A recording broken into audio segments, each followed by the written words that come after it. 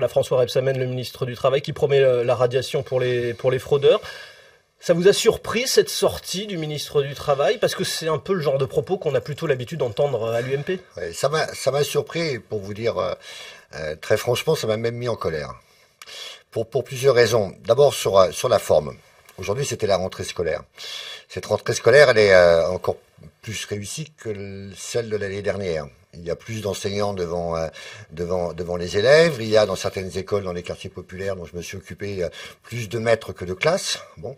il y a aussi de la grogne sur les rythmes scolaires. Hein. Oui, il y a cette grogne sur les rythmes scolaires. Mais enfin, cette grogne, c'est, ça concerne 41 communes sur euh, les 36 000 de France. Bon, donc globalement, dans 95 à 98 Donc une bonne rentrée. Donc une bonne rentrée. Et, et, sur le fond, donc elle est sur la forme polluée par par cette annonce de François Rebsamen. Et sur le fond, sur le fond, parce que euh, nous avons 5 euh, millions de personnes qui sont sans emploi euh, actuellement dans, ce pays, et pour bien les avoir rencontrés, pour les connaître, pour les voir dans nos circonscriptions, nous savons qu'il n'y a pas 5 millions de fraudeurs. Bon. Et que cette, stigmatisation collective des, chômeurs était déplacée et même pas admissible. Il ne lâche rien, Manuel Valls, François Lamy, vous vous sentez comment Comment vous avez vécu cette semaine folle? Été, euh, comme chacun, euh, surpris et déstabilisé. Bon, parce que euh, personne ne s'attendait à ce qui s'est passé. Si on, reprend chacun, chacun des événements, moi je comprends qu'il y ait un souci au sommet de l'État d'avoir de la cohérence. Voilà, parce que au-delà de, des, orientations politiques, euh, il y, a une, euh, il y a une demande des Français, et ils l'expriment, de comprendre ce que fait le gouvernement. Et ça ne peut pas euh, passer par le fait d'avoir des, voix dissonantes en permanence. Bon, donc moi je, je, pense que, entre autres, Arnaud Montebourg, s'il était en désaccord aussi fort avec le gouvernement, aurait dû en tirer les conséquences avant.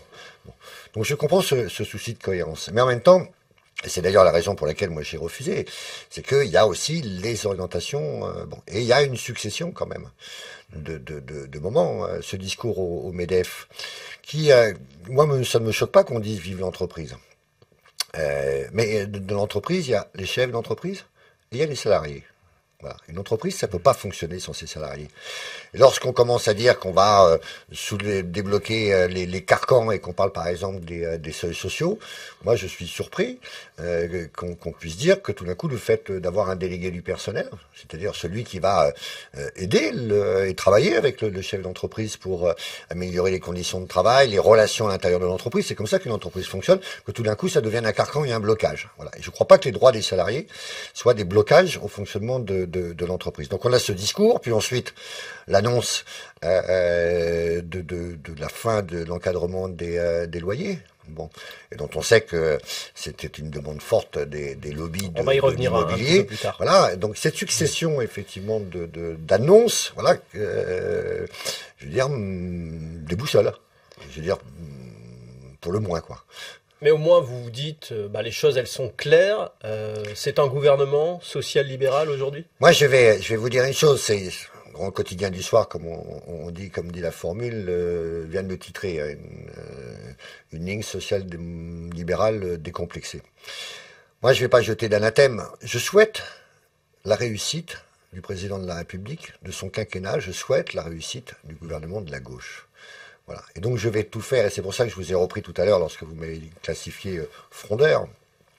Je ne rejoins pas les, frondeurs. Pourquoi? Euh, Parce que je veux encore croire qu'il est possible, par le dialogue, par euh, la critique, par la proposition, des fois de temps en temps aussi par le rapport de force, d'infléchir un certain nombre d'éléments de, la ligne politique du gouvernement. En tout cas, moi, c'est dans cet état d'esprit que je me trouve actuellement. Voilà. Mais est-ce que vous avez Donc, je me méfie toujours des anathèmes, des classifications. Voilà, je dirais simplement que j'ai été surpris, déboussolé par un certain nombre d'annonces qui ont été faites cette semaine et j'espère que euh, qu'on va rectifier le tir. Pendant cet épisode, on a vu donc un communiqué de Martine Aubry sortir avec une qui a eu un gros écho parce que Martine Aubry c'est la finaliste de la primaire avec ses 1 300 000 sympathisants socialistes qui ont voté pour elle. Euh, donc est-ce que Martine Aubry euh, est euh, disons dit qu'elle est sortie de sa boîte que une, une, ses proches disent qu'elle est conquérante et qu'elle a envie de s'exprimer de reparticiper au débat? Quelles pourraient être les voix euh, pour entendre Martine Aubry d'une façon plus globale? Vous l'avez entendu là sur un sujet qui était euh, très concret, et très précis.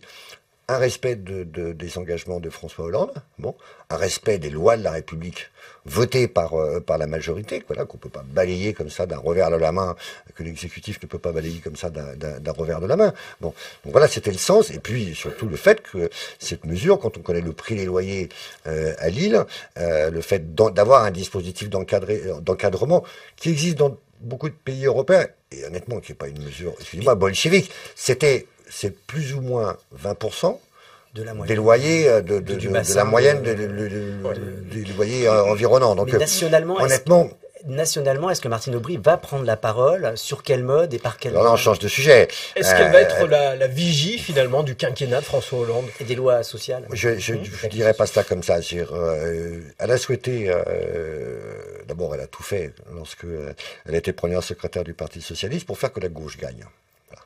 La gauche a gagné. Euh, voilà. Maintenant, euh, est-ce que c'est le quinquennat dont, dont, dont elle rêvait? Moi, je veux pas prendre la parole à sa place. Voilà, c'est, euh, elle a jugé, euh, c'est son Elle a droit. parlé d'un défaut de méthode deux- et de vision. Oui, mais même. voilà, depuis euh, deux ans, un peu plus de deux ans, elle a décidé de ne pas parler. C'est son droit. Bon, elle a laissé faire le gouvernement. Le, le- le- Mais là, on va l'entendre davantage. Je ça? pense que vous l'entendrez davantage parce que nous sommes à un tournant du quinquennat. Voilà. On sent bien qu'on est euh, voilà, passé à une autre période. faut peut-être laisser un petit peu de temps, tout ceci reposer après euh, cette, folle semaine que nous avons vécue.